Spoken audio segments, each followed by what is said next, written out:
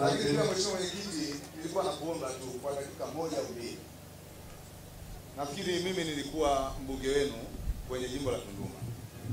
Liko jambo mheshimiwa mwenyekiti ambalo linaendelea kwenye mji wetu wa Tunduma, niliona nilizungumze hata kwa dakika moja.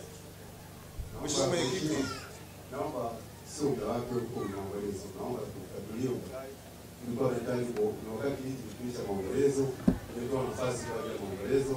Naomba kwa kuwa nimetoa nafasi hii, mheshimiwa, nikuombe kwa heshima yako, naomba kale nashukuru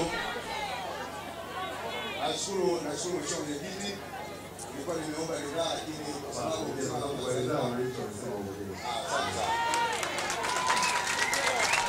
Nashukuru Mheshimiwa Mwenyekiti ameniruhusu, naomba nizungumze jambo hili la kijamii kwa kifupi sana.